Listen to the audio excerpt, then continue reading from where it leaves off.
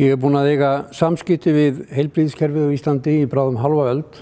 og þau hafa yfirleitt verið góð. En mér hefur verið alveg ljóst hins síðara ár að það eru komin upp mikil vandamál á þeim víkstöðum og beinlinis vandraðilegt að fylgjast með þeim asa sem er á landsbítalunum á köplum að útskrifa fólk sem að er svona alveg á mörkunum að geti farið heim til sín vegna þess að það er ekki um aðra staði að ræða heldur en að fólk væri heim til sín. Þess vegna finnst mér þessi undirskriftarsöfnun sem að Kári hefur beitt sér fyrir gríðarlega mikilvæg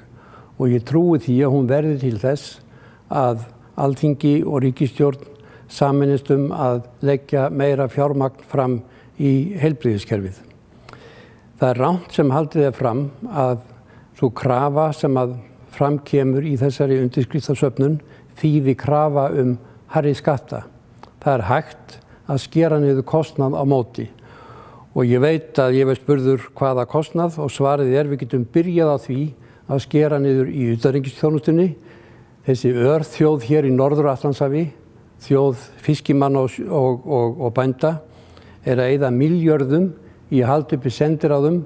út um heim sem er algjörlega ástæðulegst og skiptur okkur engum máli. Og við getum byrjað þar og jafnframt þá getum við látið það fylgja með að fækka þingmannum vegna þess að við þurfum ekki svona marga þingmenn í, í hérna þjóðfélagi sem byggir á, be, á því beina líðræði sem að, að, að sem að mun byrtast okkur á næstu árum í, í fullum blóma og, og, og svo vil ég líka minna á það að, að hagraðingar hópur ásmundar einast aðarssonar aldingismanns lagði fram ídalega tillögur um sparnaði í, í, í, í hérna ofnbyrra geiranum í upphafið þessa kjörtíðanbils og margar af þeim tillögum eru strand í kerfinu vegna anstöðu bæði embatismanna og jafnvel ráð þeirra sem styðja þá í þeirri anstöðu. Og, og, en jafnframt að þá sé ég í þessari undirskriftasöfnun Kára